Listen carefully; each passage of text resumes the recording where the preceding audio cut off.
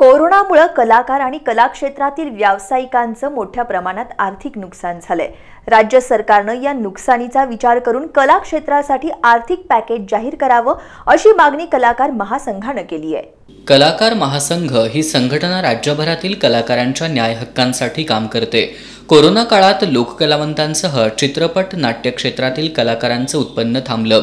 त्यामुळं कलाकारांची आर्थिक ओढाताण झाली. कलाकारांसह कलाक्षेत्रातील व्यावसायिकांना सुद्धा आर्थिक अडचणींचा सामना करावा लागतोय. राज्य सरकारनं याचा विचार करून कलाकारांच्या मदतीसाठी आर्थिक पॅकेज जाहीर करावं अशी मागणी कलाकार महासंघाचे अध्यक्ष अनिल मोरे यांनी केली आहे.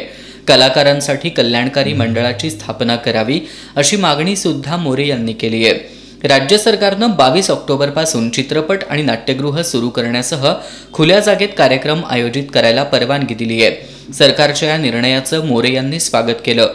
पत्रकार बैठकीला महासंघाचे जयवंत वायदंडे उमेश अवघडे सागर साठे कुमार सावंत शोभा पाटील आदी उपस्थित होते.